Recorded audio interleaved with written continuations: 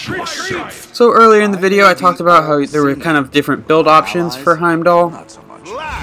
The this one allows me to get in, get some damage off, and then disengage. The Hunter one allows me to kind of sustain, but I have to hang out in the back line a little bit more.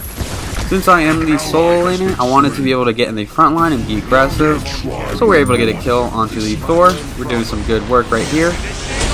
The AMC beats us, but we're going to hopefully land some basics. We get the double kill there. We get the shield from Bloodforge. We're going to use the 3 to teleport back. We get the line attack. That is a triple kill. So right here is a possible great kill. So right here is a mistake. We target Bellona. Big mistake. Because there's Poseidon. If we would have focused Poseidon, even if he ran away, um, I think we would have been better off in that situation.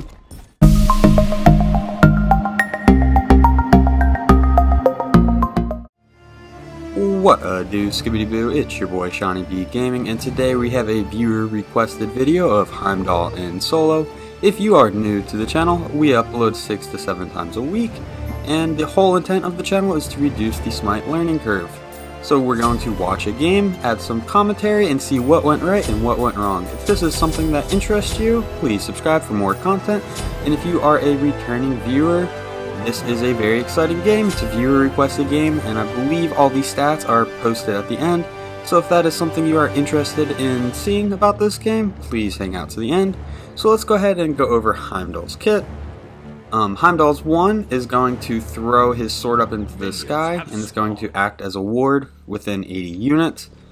And then he can use it again to call the sword to come crashing down, dealing damage. Heimdall's 2 is going to be a cone attack where he blows his horn and does tick damage. There is an inner circle, and if the enemy is within the inner circle, whenever the ability finishes, or if you cancel it, they're going to be knocked back. And a majority of the damage from this ability is actually in the knockback. So right here we're going against Bellona. We're going to want to knock her back out of her 2, and we really just put a damper in her lane clear by canceling her 2. So Ne-Zha is going for blue. We are going to want to make our way back there for some XP. Looks like we're going to be a little late. We might miss a little bit of XP right here. Heimdall's 3. Let's kind of keep going over the kit while there's a break in action. Heimdall's 3 is going to allow him to open a crystal. So Heimdall plants crystal A. Heimdall then plants crystal B.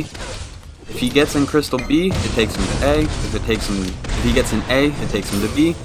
But if he places crystal C, A is going to be removed, and now there is the link between B and C. And if you were to add another one, the first one that was added, the node B, is going to be removed, okay. and then node D and node C are going to be created. So I hope that was kind of a clear example of how the teleports work. Um, we are going to be using it to get back to lane occasionally, but the cost of that is that early game when we have no points into our 3, the cooldown from going from fountain to lane is going to be extremely long. It's going to leave us vulnerable um, to attacks. So right here, we are just getting a good poke onto this Bellona. That disarm is going to be a problem. My health is really low, so we're going to pop some health chalices. We probably should have popped those a little bit earlier. But we're going to keep getting basics off onto this Bellona. Heimdall's passive is a uh, beautiful thing. For each enemy god he has vision of, he's going to get him 2% stacking power. So we knock Bellona up. We missed the one. We probably could have kill potential if we hit the one right there. She's just lifestealing off the minion wave, and I have only health potch for the means of lifesteal. So right there, I see she's using her two, so I use my two to cancel her out. Enemy missing left. Right there we summoned our ward, but then we canceled it, and then we had a bit of a misclick right there. Looks like. I don't think I was trying to target my own minion wave with that ability. So right here we're trying to get the cleave attacks onto the backline archers. Instead of getting the cleave attack onto just the front line archer. So we're going to clean that up. So Heimdall's ultimate, he's going to dash forward, and if he makes a connection with someone, he's going to yeet them out into space, and you can change the direction. You have like a 360 degree option on where you want them to land based on how you're facing whenever you ult. So if you want them to spawn, uh, land closer to their tower, you just face forward. If, but if you want them to land closer to your tower, you want to turn around as you ult.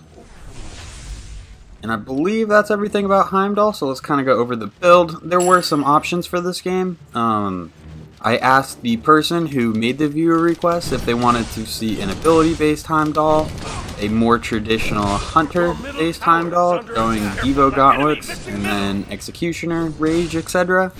Or uh, like a true solo, um, where I build kind of cooldown items, bruisery items, and he said he did not care. So I went with the ability damage. I did play a game of each style. Um, I had a struggle with the bruiser build, but the ability based damage and the traditional hunter build both uh, led me to success in the dual lane. So I think both of those are viable. I really wish we had the lifesteal of Devos right now going on in this early game. Your middle tower is under attack. Getting bullied a little bit, but we are able to hold our own. We have enough for Transcendence, so we're going to pick this item up, go ahead and back. The reason we're getting Transcendence so early is because we want to start stacking it early, so we get the massive power, and we get the cooldown from it once it's fully stacked. We are going to be hurting for movement speed for just a little bit, but that's why we have our portals. So right there I'm just making sure that my cleave auto attacks are hitting the group of minions, and then my single target is hitting the minion up front.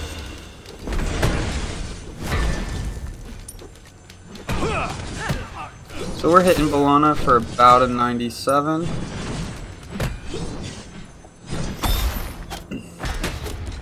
Piercing sight. She does have lane pressure right now. There's not too much we can really do. She has life sustain, we do not, so unless we can immediately burst her down, she's going to have the favorable trades here. Enemy missing middle. Be careful left. Looks like she's going for the totem.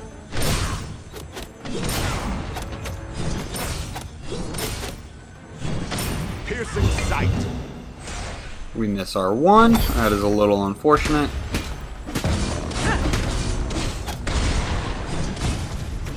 We do have our ultimate. We're going to see if we can maybe ult her into tower. So right here, we're in a bad situation. She ults in. We're going to ult. She's still under tower. Minions aren't under tower, so she's going to take a bunch of damage. We're going to use our one. We're going to cast our one down. We're going to use our two for the knockup. Cast the one down. And we are able to get the first blood. It was a little bit sloppy. We probably should have used the one before two. But all around, that is a great start to this lane. It's plus 5 stacks onto my Transcendence, plus 500 gold in the pocket, plus I get to clear this wave and then back. And I know I am backing because I have no health pots and I have super low health. So we are going to pick up some boots, only tier 2. And then right here, um, I think it's worth being able to just get back to lane faster. The Bellona's relic should also be on cooldown because she recently used it. So right now we are getting an XP lead. Super glad we teleported back. But right now our cooldown is 3 minutes before we can use our 3 again. So not being able to use an ability for 3 minutes is kind of a very long cooldown. So the trade-off of being able to come back to lane super early is now we don't have the security of being able to use R3 to avoid Bellona damage.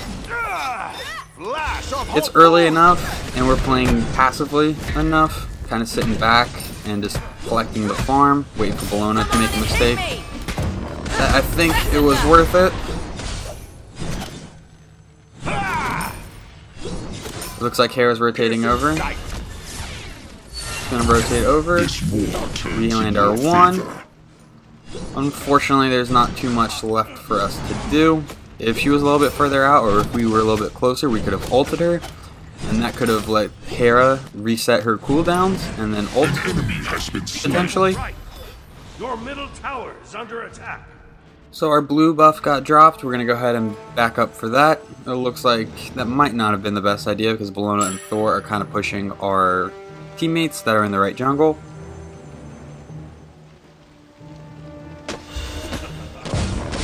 Should be able to get some free poke off here.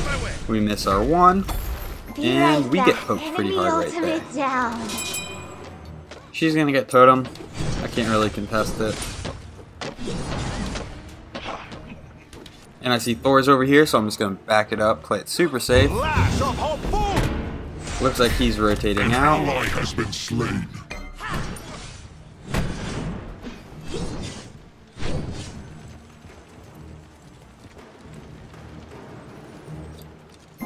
So, since we are going the ability-based build, we're probably going to be going the power boots, which is a little unfortunate. I think the attack speed boots would also be acceptable for us here.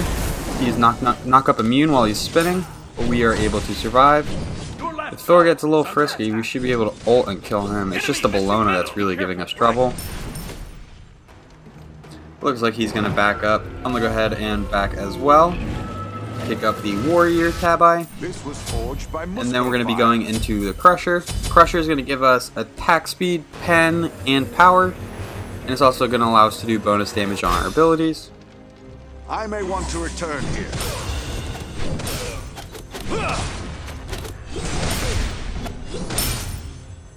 So we are a 10, she's a 9. Our teleport, win the fight, and then use R3 to get back to lane. Helped us establish that lead. I think she should actually be in the lead because she's been hitting allies have failed you. She missed one wave, but has been getting more totems than me. I think she'll be hitting 10 relatively soon.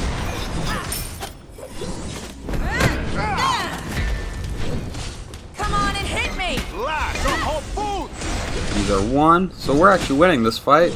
And now that we have Transcendence fully stacked and our boots, we are kind of hitting pretty hard.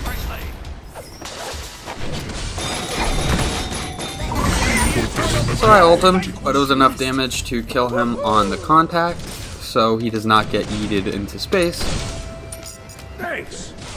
So now we want to take advantage of this pressure that we have in the lane. We keep prioritizing blue buff, but we really haven't run out of mana once.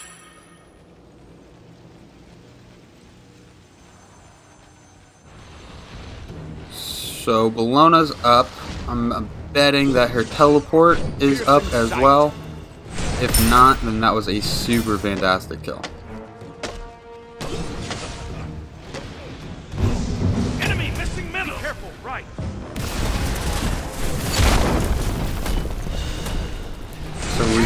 Yeah, I don't think that needed too much commentary. That Thor should not have been diving into me. He's a level 7, diving a level 12 Heimdall with fully tran uh, fully stacked Transcendence.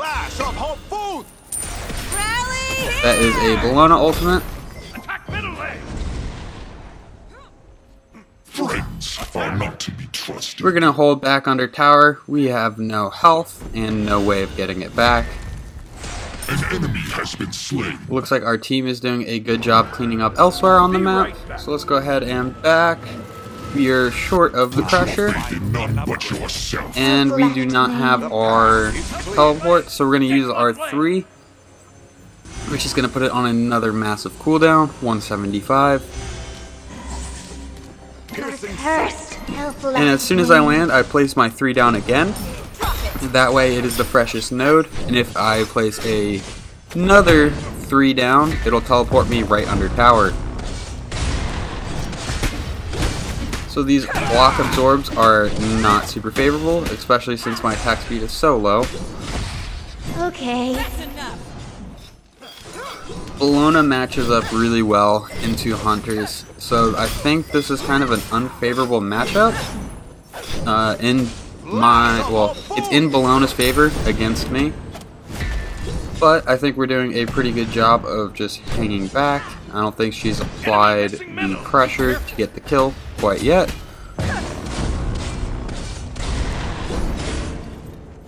Dodge the two. We're going to cast up the one. left. going on to wave, so we're going to tag up the wave a little bit.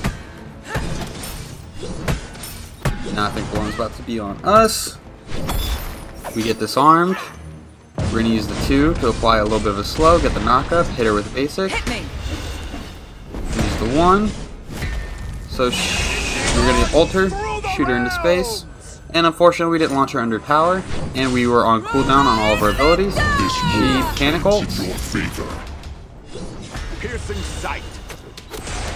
There we go, and we're able to get her with the 1. Just pure power output from Heimdall, and that is enough to get the Bellona. So we're gonna make our way over to our blue. We have enough money for Crusher, and then after Crusher, we're gonna want to be going into Bloodforge.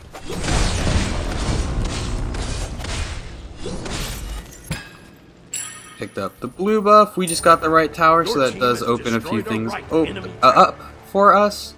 Sorry, I feel like my brain just did not wake up this morning. 50 seconds on R3, so we don't want to push up too much because we won't be able to use R3 to get out. We're going to go ahead and back, get our item upgrades. This was forged by Muspelfire. An ally has been slain. A pair of foes? No We're going to use our teleport to get back over to solo lane. It looks like Bellona just left, and it looks like there's a team fight going on on the left. Nice job. People died, so it has to be somebody else's fault. Your left tower is under attack. 307s are looking kind of nice.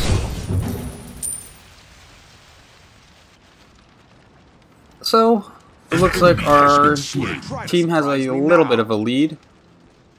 Piercing sight. we in our matchup have quite a bit of a lead, up two levels, I may want and return here. four and zero. So, I guess they're we killed Thor once, so they're zero and three. We're gonna check their blue buff real quick. Does not look like it's there, so we're gonna rotate mid, see if there's anything we can do. We're just gonna food. steal these harpies and then make our way back. There was nobody on the enemy team that was in mid, so there was no real reason to push out into the mid lane. We just walked over to see if there was anything we could do. It was just a small window. Your team has Looks like destroyed Bellona is middle rotated over. We're going to take advantage of this and clean up the wave and then hopefully make a rotation.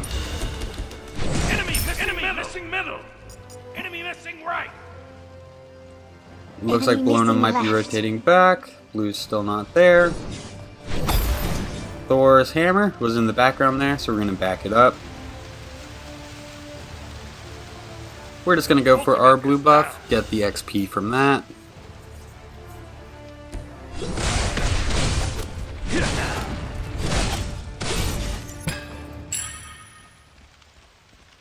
So Blood Forge does cost a pretty penny, so it's going to take a little bit longer to farm up for that item in this lane. Our team's pushed up a little far on the left side. We're going to try to get some damage off onto this Bellona. We do not want to auto attack her while she's in her block stance, so we're just going to use our 3 to get out. Poseidon's here. Does not dare That's a Poseidon ult. That's a Bellona ult. allies have failed. We're gonna yeet somebody into space. Summon R1. We were super late on casting R1. And Bellona was able to get her. You have been slain. Super close to being able to get her. Maybe Ne-Zha can rotate over and clean that up. Poseidon rotated over, got hit by the ult, lost a decent amount of health. Come on, Ne-Zha. Come on, Ne-Zha. Come on, Ne-Zha, please. Please. There we go. Put your faith in none but yourself. Got blown up by Poseidon, but at least she got the Bellona. tower has been destroyed. Anyway, we just took a lot of damage. We ulted Bellona, and then we had the option of backing or trying to stay and continue the fight. We chose wrong. We should have just backed up to the tier 2 tower. And then if they wanted to get the tier 1, we're at a point in the game where it's probably fine. We shouldn't have tried to invest so much in defending the tier 1 when we had the option of just backing up to the tier 2 and playing it safe. So we didn't have enough money for Bloodforge, which is unfortunate, so we're going to teleport back to our lane and begin the farming process all over again. So just looking at levels into the game, Poseidon is the highest on both teams, and then 17 seems to be that next threshold, where we have our mid and myself in solo lane. Our carry lane is getting a little bullied.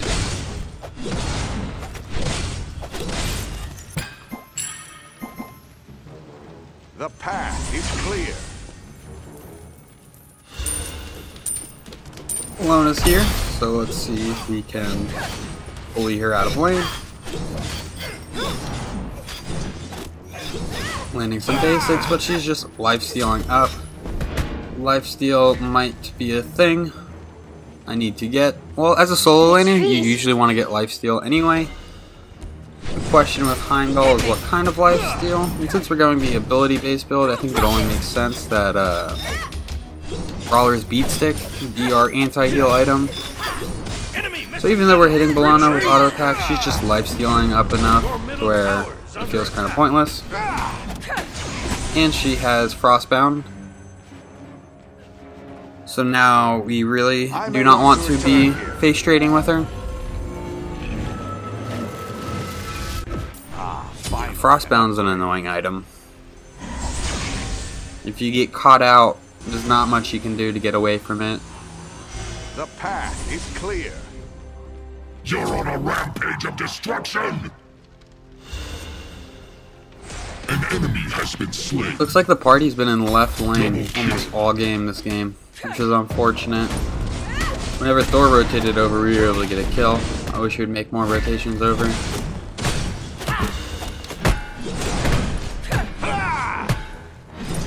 That looked like a laggy throw.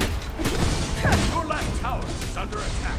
So, we're gonna have to back because Frostbound Bellona is annoying.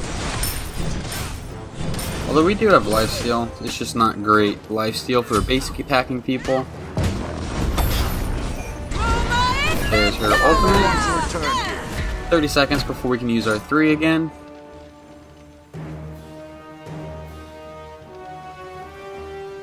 So if you see that line between the three, the, the two three objects, that is actually going to be like a ward line. So if anybody crosses it on the map, you're going to be able to see. You can use this to be pretty effective in dual lane. I have not really used it effectively this game, or kind of in general. Ne-Zha's here, Thor is here. We get some poke onto Thor. We're going to use R2. We got the slow, knock back Bellona. Thor's up in the air. And then we're going to yeet him back into space, but just get the kill on contact.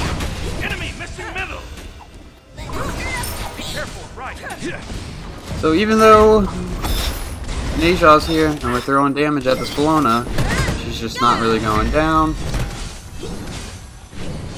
Come on and hit me. Be right back. Just gonna go ahead and pick up the blue, grab the easy XP, and that puts us at level Be 20. Right back. This was forged by Muspel. This Brawler's Enemy Beat Stick is gonna really allow us to start being able to get some kill potential onto the Bellona, because she won't be able to regen as much.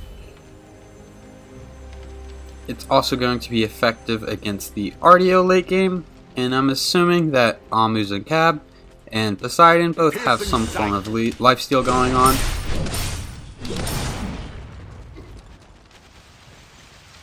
Poseidon's making a rotation over, we might be able to cut him off. Nope, looks like he's gonna get out.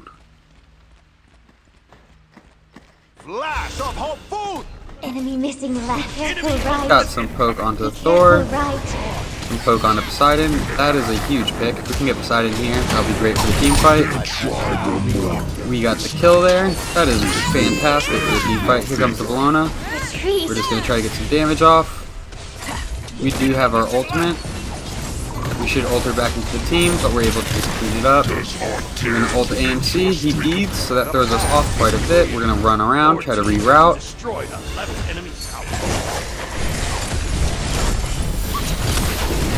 We got some poke onto the AMC. Now we're all team crashing onto this Artio. We apply the slow. She's dashing away. Our time is best focused on hitting the tower. I'm.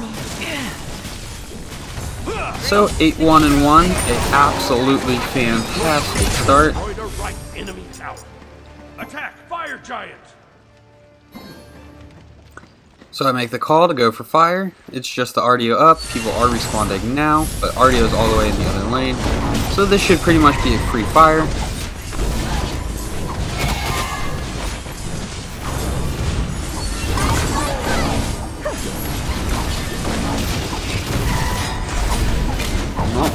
Hero to fire. That's a that's a shame.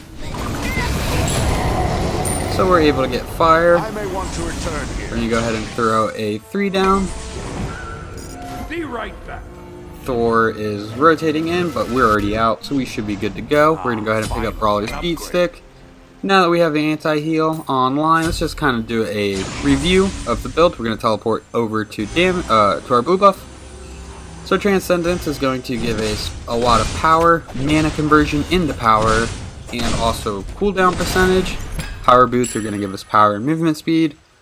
Um, the Crusher is giving us the attack speed, power, and penetration. That's all going to help with our basic attacking, but its passive is also going to apply bonus damage when we land an ability. tower is under attack. So the enemy team just got Gold Fury. Um, Bloodforge is our lifesteal item.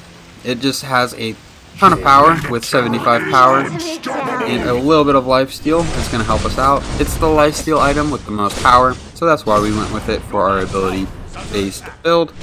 And then we're getting Brawler's Beat Stick for the anti-heal against Bellona, Artio, and potentially the Almuzakab and Poseidon. And then we're going to be going into the Heartseeker, which is kind of the go-to ability damage item.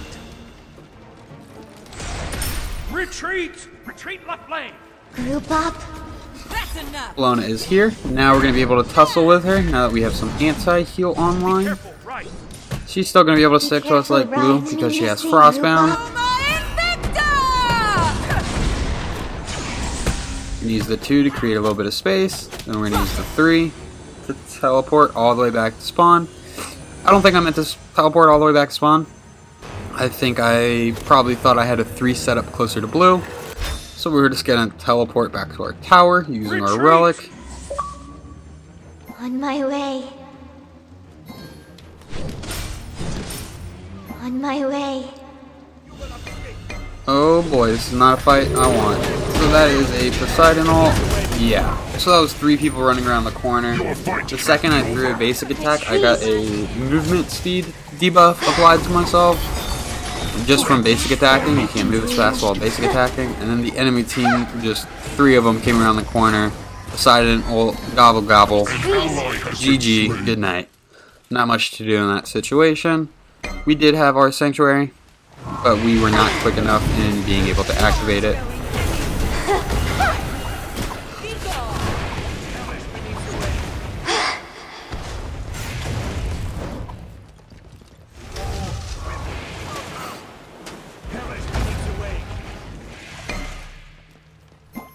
So, Heimdall did just recently get a nerf to his ultimate and the ward vision radius of his one. His ultimate used to do a crazy amount of base damage with some pretty nutty scaling. They adjust this a little bit, so now a lot of the damage is kind of on the back end of the ability instead of on the front end. Your middle tower has been destroyed. We're going to clear this wave and then go help the team in right. Some infernal force powers your strikes. Your right tower has How the mighty fall. We're using our two to get a little bit of a slow. Flash of hot food! Looks like they are peeling towards fire, but fire is down, so we are good there. We have enough money for Heartseeker. We should back relatively soon. There's a Thor nearby. For some reason, I'm in the camp. Our team's rotating mid. We're going to push up right just a little bit and then look to rotate over as well. We are at the point in the game where we want to be grouped up with our team, trying to get picks wherever we can, and then pushing objectives once we have the advantage. Excuse me, have a little bit of the hiccups. So we got our wave push, we're going to go ahead and back, get our Heartseeker online. This was forged by Muspelfire. Now we're going to teleport back to the solo lane using R3. It's going to put it on about a minute cooldown now that we have it maxed out. One minute is much better than three minutes. So early game, it costs a lot more to teleport from spawn to lane using your 3. But late game, it's not as important. It is kind of important to keep a note on whether you're going to be able to use your 3 or not. Right here was a terrible engage. Oh my goodness. It just ran between a whole bunch of people. Should definitely have rerouted there. I think part of the issue is I'm thinking Heim is a normal solo laner. So a normal solo laner can make that high route and then push through mid and get some burst onto somebody. We aren't really building any defense. So we are super squishy. We smack pretty hard, but we are not the best frontline. We're like a frontline who has to disengage as soon as his abilities go on cooldown. So we dove in between people, they were able to just target me, I don't have any kind of escape, and my 3 was on cooldown, which was what I was talking about right before that happened. So, bit of a misplay there, should probably have rerouted and, and appeared in middle lane through a different path. Friends are not to be trusted.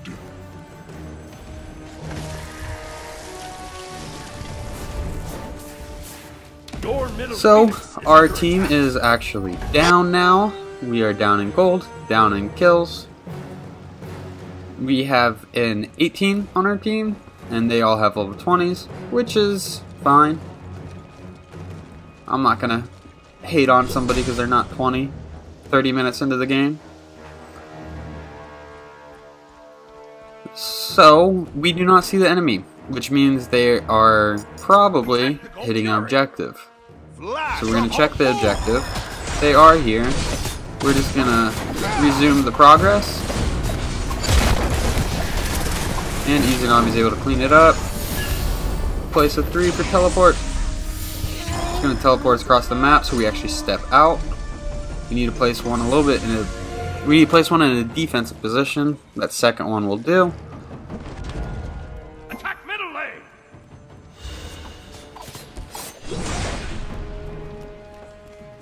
So we are grouped up. We did get the Gold Fury kill. This is your last chance. The path is clear. We could totally push this team. We just need somebody to tank. I'm solo lane, so I'm gonna tank it. That is a middle tower. That is a Poseidon ult as well. Uh, baiting out the Poseidon ult and him not getting a kill is pretty big. Okay. So that was one of the dumbest things I've done all game. The team was calling retreat, and I just went all in onto Poseidon. Did not have the damage to kill him, and then I just got turned on. So that was a very bad engagement. This war takes Like probably the dumbest engagement Come on and hit me. I've done in a while.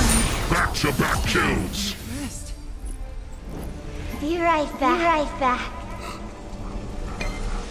So we have enough for the movement speed pot. We're gonna go ahead and buy that, pop it, and then save up a little bit more money for boots.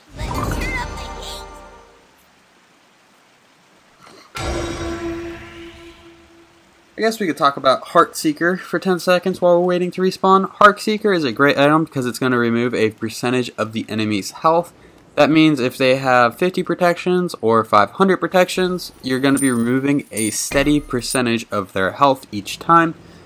That is why this item is such a great item. always has more Soul Reaver is like the magical version of it, and Heartseeker is the physical version of it.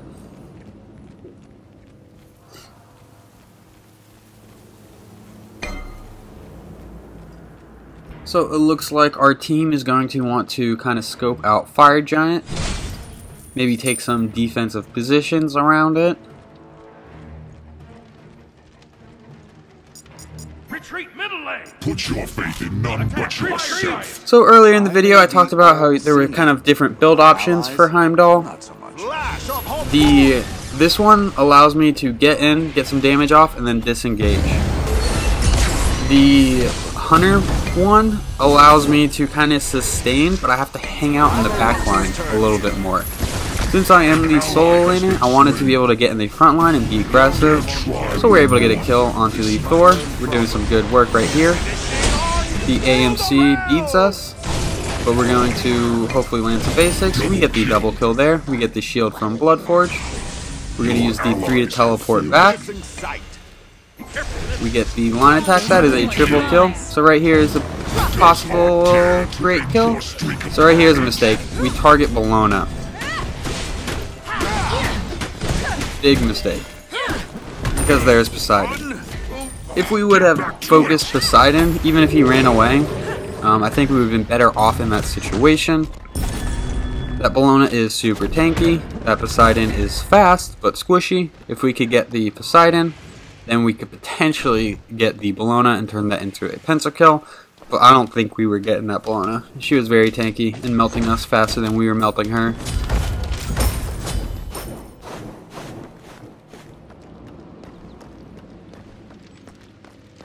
Does this Terra model look like she's running with her like shoulders in front of her feet?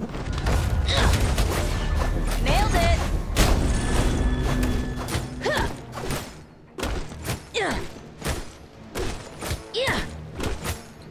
Okie dokie. So, we are kind of catching up in gold, although at this point in the game it doesn't really matter. We sold our boots and picked up Mantle of Discord, that's going to give us 10% cooldown. It's also going to give us 60 physical and magical protections, while also giving us an amazing passive. If we fall below a certain health threshold, we're going to become CC immune and unleash a stun around us. That should buy us a little bit of wiggle room and also tell us when we need to disengage from the fight completely. Looks like the enemy team is going around Fire Giant.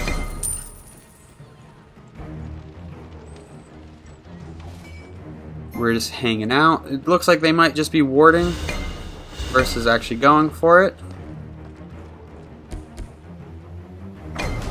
So for some reason our one didn't get called there. We get stunned by Thor. This is a bad little fight. So we're gonna reroute. We get stunned out. We're gonna be. We don't have beads, but we're able to teleport out. And I think, yep, we're just gonna back. We have bad positioning, so we just want to backing. Try to get better positioning. Let our team dance around with the enemy team a little bit. Looks like Poseidon is a little far up. Hopefully our team can crash. There we go. Artio, there's the other team. So we can rotate behind them. We might be able to do some good work here. We got some, we took AMC, like half of AMC's health. So there, AMC ulted us and we tried to ult. Oh no, we're gonna die. I may want to return here. That is unfortunate. So right there, we tried to ult AMC, but right as we were trying to ult, he ulted us, and AMC's ult has a cripple. The cripple will not allow me to ult, so I had to wait for the cripple to expire, I believe. I, I don't know, Heim's ult is CC immune, so that might take priority over the cripple.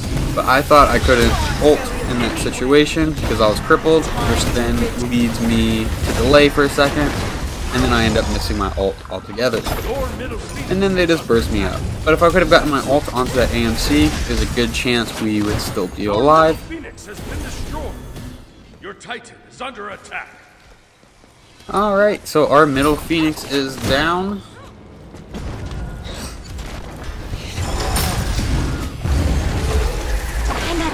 Our team is starting to group, starting to push them back. Looks like they're going to be able to just disengage.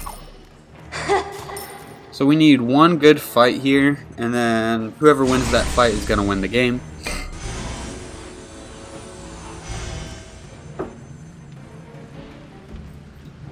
There's three people over and right. I thought AMC was going Gold Fury. It's probably better to rotate over to the team. So that is a pick. That's a big deal at this point in the game.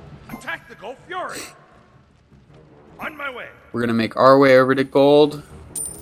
Looks like we have a lane up, so AMC was there the whole time. Attack the fire The giant. path is clear. Our team's grouping up on fire. I think by the time we rotate over there, it's gonna be pretty much dead. And the only way that would backfire is if there's a team fight that breaks out. Looks like Thor made an attempt to steal it, but was unable to. enemy has been We get a pick onto their assassin, so now it's a 3v5. We have fire.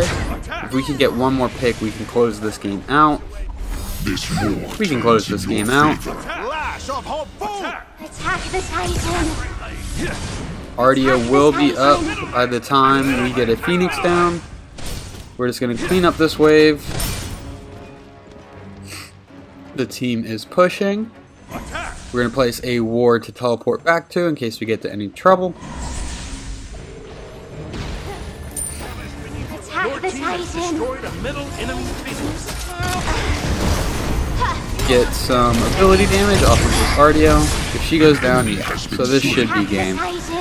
If two people left, we have the full five with Fire Giant.